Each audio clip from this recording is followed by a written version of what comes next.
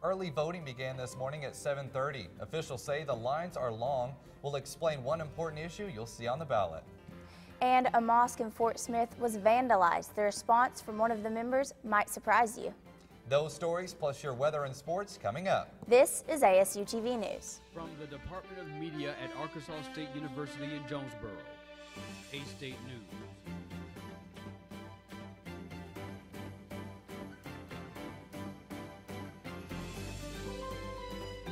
State Weather. A State Sports. This is ASU TV News. Hello and welcome to the October 24th edition of ASU TV News. I'm Kirstin May. And I'm Austin Hyslip. Early voting began today, and voters will see five ballot issues on their ballot this year, including two different proposals about medical marijuana. I took a look at both of those issues to find out their differences and how they might affect this election. Issue 6 is the Medical Marijuana Amendment. Issue 7 is the Medical Cannabis Act. They would both make marijuana legal for medicinal purposes, but political science professor Dr. William McLean says there are some important differences between the two. And issue six, I think, probably has a, uh, the better chance of passing than issue seven. It's a little more restrictive. The Medical Marijuana Amendment allows about 20 conditions to be treated with cannabis, whereas Issue 7 covers nearly 60 conditions. It would also be easier to add more to that list on Issue 7. You can amend an act uh, without going back to the voters, uh, so without amending the Constitution again. There's also a provision in Issue 7 that lets any patient living farther than 20 miles from a dispensary grow their own marijuana. People become worried about sort of the not in my backyard syndrome. I don't want my next door neighbor growing marijuana around my children. This is not the first time medical marijuana has been on the ballot. Arkansans nearly passed a similar proposal four years ago. That was a, a, a very surprising outcome uh, as, as, a political scientist that, it, that you know, given the, the conservative nature of the state, that it came as close to passing that it did. Craighead County Clerk Kade Holliday thinks more people know about the cannabis proposals on the ballot this time around. There's a lot of debate about, you know, the two different ones, all the differences between them.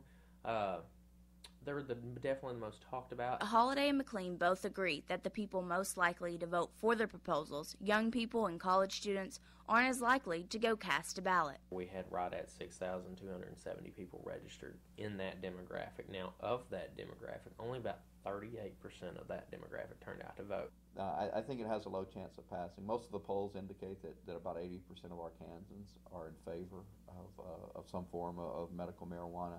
Uh, however, it's probably going to be a low turnout election. Uh, young voters are, are not very excited about either of the presidential candidates. Both men say what's important is letting your voice be heard, whichever way you vote on these issues. Kirstin May, ASU TV News. Dr. McLean explained that if both issues pass, the Constitution says the one with the most votes for it will take effect. And the Cooper Alumni Center hosted its annual GradStock this past week. Graduating seniors had the opportunity to meet with Career Services and Brown's graduation to prepare for graduation. GradStock is a one-stop shop uh, for graduating seniors at Arkansas State University. They have the opportunity to get measured for their cap and gown. Um, they can look at some different programs that are offered after you graduate, such as the Kentucky program where you can travel abroad at a very discounted cost. GradStock also provided seniors the opportunity to have free professional headshots taken for resumes or their LinkedIn profiles and told them how to claim a free year of the Alumni Association membership. Authorities say a North Little Rock man who was found severely beaten has died and a suspect is in custody. Pulaski County Sheriff's Office Captain Carl Minden says 42-year-old Alexander Wiles died Saturday at a hospital after being found injured Friday night at a home in North Little Rock. Minden says the suspect was arrested shortly before Wiles' death for first degree battery, and the charge may be upgraded to murder. Minden says Wiles was apparently beaten with a piece of lumber. And a controversy on the A-State campus robs a student from her chance to visit another country. Lauren Bennett says she hardly got a warning before she was forced to spend out one of her last semesters in Jonesboro. ASU TV News' Jorge Kikivic spoke to her and has more on this story. But now, Lauren Bennett says she didn't get to go to Paris. While administrators announced Chancellor Tim Hudson's resignation and his wife Didi Hudson also leaving, the university sent an email to a group of students, including Bennett, telling them they would not get to study abroad this semester. news that devastated her. I was excited to be off work for mm-hmm. three whole months and be in another country and learn. So excited, she didn't renew her lease that was up and went ahead and registered for classes. She got the email less than a week before classes started and had to figure out what to register in. To get into classes that I didn't really need, so it might push back my graduation. She said because she has a housing scholarship, Rebecca Oliver with honors was able to get her a dorm, but other students weren't that fortunate. Some students I know quit their jobs and like left their houses and couldn't have a place to stay, and then they couldn't get hired back at their job. It's something she hopes makes administrators at A-State and universities across the country think twice about their actions. People do make mistakes, but I think you should be more careful because when you're in administration and you're taking care of other people, especially students, you have to look out for their best interests, not your own self-interest. I've contacted university officials and the study abroad program several times through email and the phone, and I still haven't heard back about whether they want to make a comment or not on how it's affecting students. For ASU TV News, I'm Jorge Kikiewicz. An 18-year-old charged in, double, in a double homicide wants to marry her boyfriend, who pleaded guilty to first-degree murder. Anastasia Roberts of Conway wrote to the Fauquier County Circuit Clerk's office asking if it's possible to marry 18-year-old Connor Atchley. Roberts said it's important the two marry so they can write to each other while in prison. Atchley and 15-year-old Justin Staten pleaded guilty in the deaths of 66-year-olds Robert and Patricia Cogdell, who who had raised Staten as their grandson. Remember when mom used to tell you not to interrupt the adults? Well, now a certain adult running for president has become known for his interruptions. And as Jeanne Moos reports, Donald Trump's interjections may have spawned nasty women and puppets. We interrupt this story to bring you Donald Trump's interruptions. I did uh, not say to that. be assaulted. I did not say that. in an eating machine. Give me- and on the Your after, husband disagrees the with you. Now, Hillary also chimed in a time or two. On a very beautiful hotel down the street known as Trump. made with Chinese steel. But I will tell you, I sat there. But she can't compete with the Donald's interjections, denying he's Putin's puppet. in No United puppet, States, no puppet. And it's pretty clear. You're the puppet. It's pretty clear you won't admit No, you're that the the. Russians have. You're the puppet. No, you're the puppet. The exchange inspired actual puppetry. The Donald recycled his golden oldie. Wrong. a very clear fact that Wrong. before It almost felt like Trump was imitating Alec Baldwin. He's either not that rich, Wrong. not that charitable, Wrong. or he's never paid taxes in his life. Warmer. But this was the Donald's most memorable interruption. Such a Security nasty woman. Fund The Twitterverse exploded. Make America nasty again. Nasty women for Hillary. That's President Nasty Woman to you. Songs featuring the word nasty were dredged up and remixed. Nasty, nasty Security woman. Trust. Such a nasty Security woman. Trust She's a nasty woman. By the way, I respect women more than anyone. Nasty Woman joined with another Trumpism We have some bad hombres here. in a Chelsea Handler tweet. Are you a bad hombre or a nasty woman? Nasty Woman won by a landslide. The day after the debate, the Donald himself was interrupted. Get that mosquito out of here. The Donald's like a pest with his interjections. when he started tweeting that the Emmys were rigged against Should have gotten it. The Emmy for Best Interruptions goes to Donald J. Trump. Wrong. And you can Jeanne Moos, CNN, Wrong. New York. Well, looking at weather, it's a great day in Jonesboro. Jorge Kikovics joins us from outside to give us an update. It feels great out here. There's a slight breeze, but overall fall-like temperatures for Jonesboro. It's just perfect weather for some, but there are rain chances later this week. I'll explain if that'll affect your home football game this weekend. Thanks, Jorge. After the break, we take a look at how Habitat for Humanity is making a difference here in Jonesboro. Plus, look at the surprising reaction from a member of a mosque that was vandalized when we come back to ASU TV News.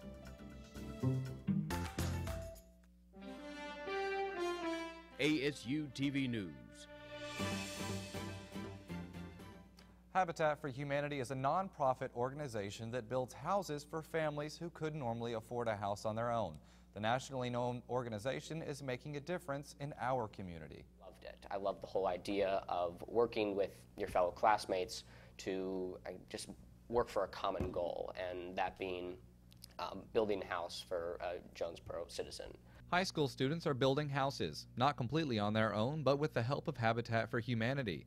Habitat has been working with the Jonesboro School District for over a year now, a relationship Jonesboro High School student Mark Havdallah says is worth donating his time to. You are working, it is a visible and legitimate donation of your time. You are actually see what you are doing be put to work, and that one of the best part is an actual Jonesboro citizen will actually get that house. Jonesboro Habitat Executive Director Michael Sullivan says it doesn't begin or end with a house. The students play a vital role in the entire organization. They, they volunteer, they educate, um, they fundraise, and they advocate on behalf of Habitat for Humanity. Students who spent months putting together a floor plan for this house will begin putting up walls in the coming weeks. The house being built now is the first that Jonesboro School District has helped with. Assistant Superintendent Sue Castleberry says the school district is including almost every campus, giving each student an opportunity to help. Our news crews from math and science will come and do some video work.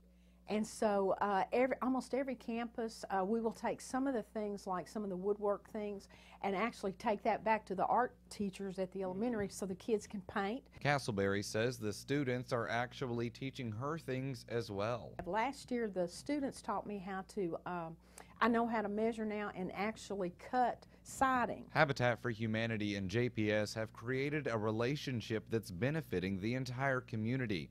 For ASU TV News, I'm Austin Hyslip.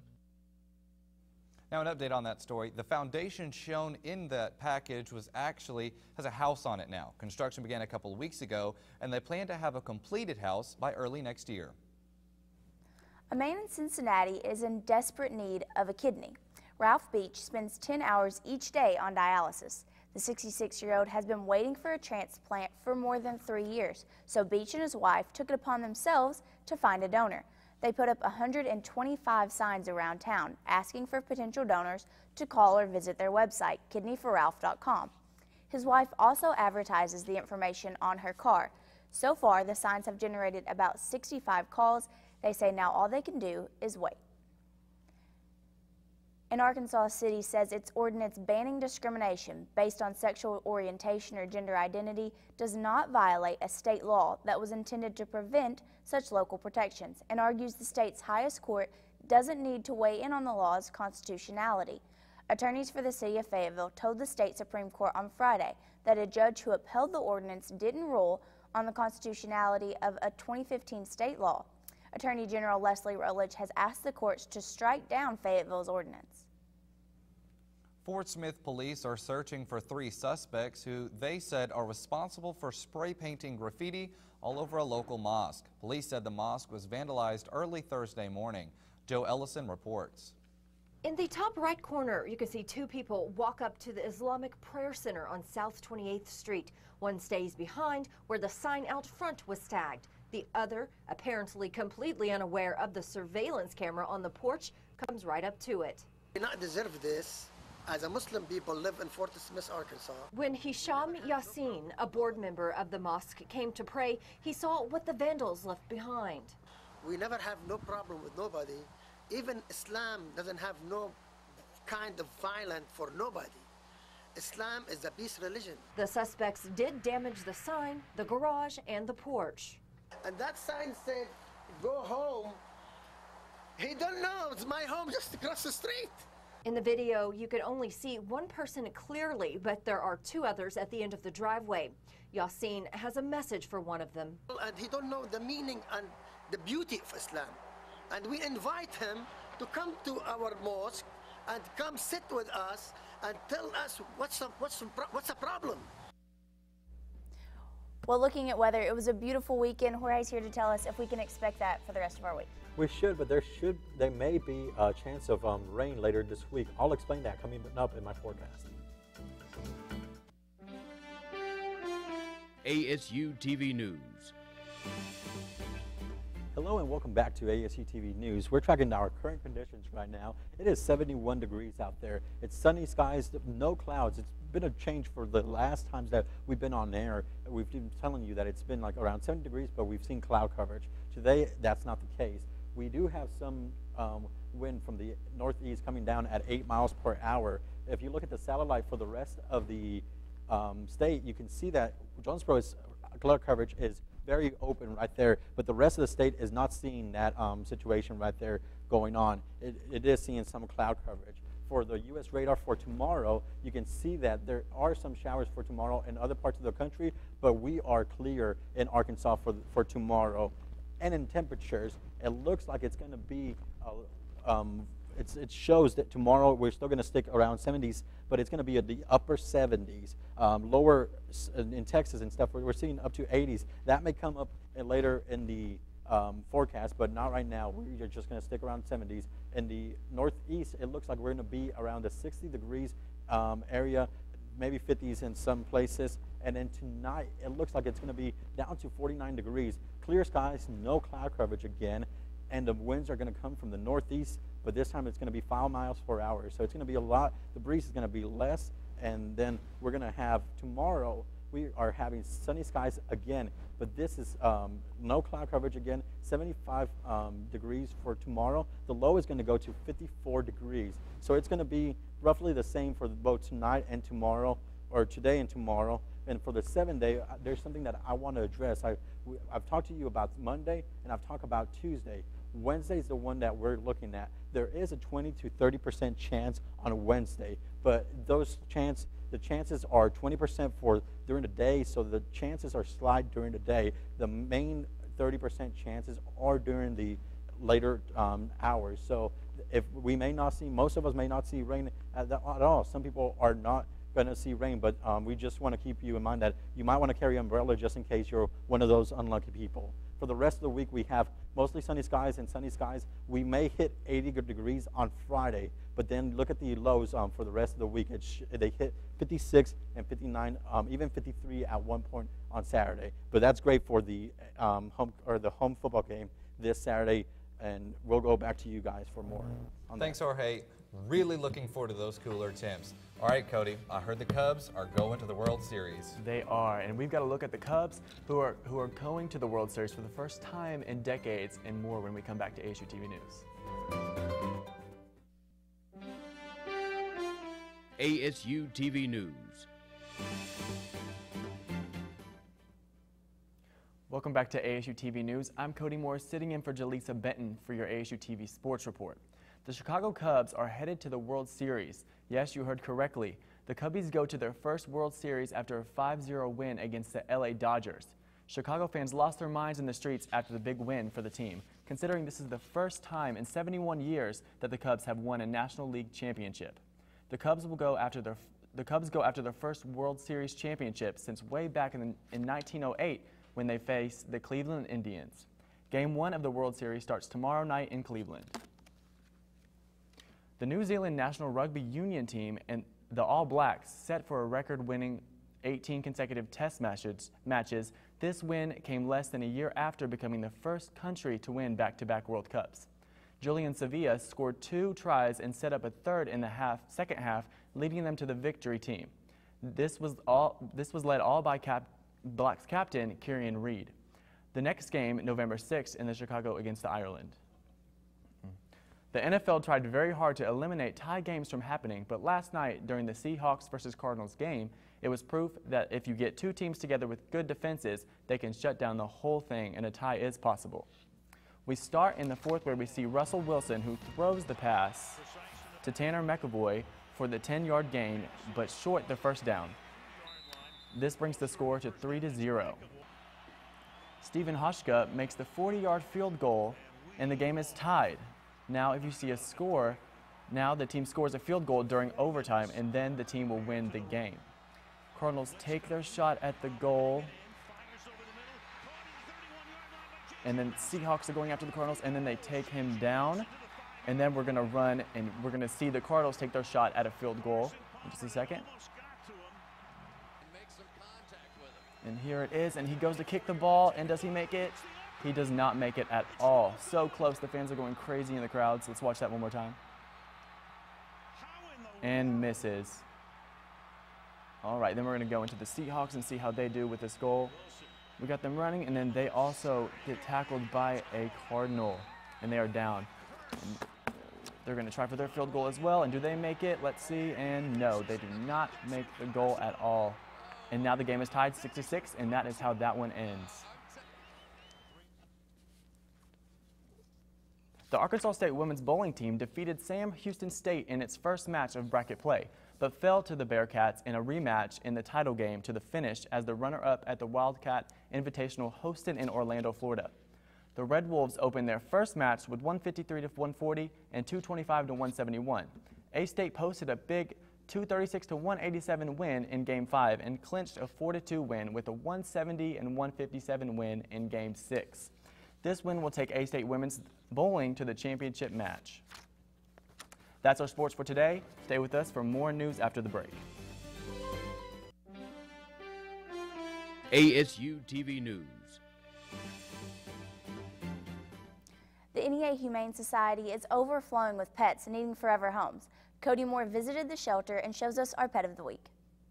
All right, you guys, this is Madonna. She's a pit bull here at the Humane Society. She's about two years old. She's been here for about two months too, and she is the perfect people dog. Doesn't really like other dogs, but she is perfect with other people. So if that's your kind of dog, then you can come adopt Madonna today at the Humane Society here on Highland.